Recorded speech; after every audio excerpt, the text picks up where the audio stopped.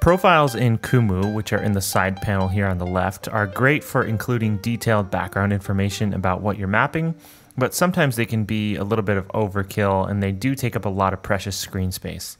Sometimes you might just want to share a little bit more context about an element or connection without having to open the entire profile. So popovers allow you to display fields from your profiles when someone hovers over an element, connection, or loop on the map. To get started with popovers, I'll open up the advanced editor and I'll move all the way down here to the bottom after any other settings that might be in here. And then the basic syntax is to write a selector, open a pair of curly brackets, and then use the popover property to tell Kumu what the popover should be.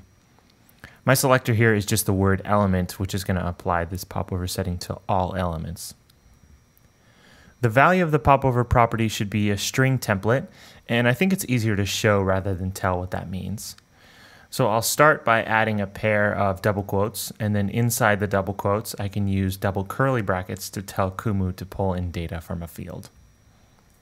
For example, I can type label inside the double curly brackets, and now when I hover over an element, Kumu will dynamically pull the label of that element into a nice popover. You can also add normal words, spaces, and punctuation to this popover. So if I add chapter title and a colon and a space before the label, each popover will now show that hard-coded text next to the dynamic field data. And so this is characteristic of a string template. You have hard-coded text, punctuation, things like that, and those are right alongside dynamic field data that's getting pulled in from each individual element or connection on your map. As you're building out your popovers, you can add a double space anywhere to create a line break. So I'll add a double space here and then insert one of my custom fields from this map called topic sentence. And now you can see that we have the label, a line break, and the topic sentence in each popover. Note also that the field names aren't case sensitive here, so I can type these in all capital letters, all lowercase. As long as they're spelled the same, Kumu will be able to find that field and pull in the data. Certain fields get special treatment when you bring them into popovers. So for example, this full chapter field that I'm typing out has a field type of URL in this map and it contains a link for each one of my elements.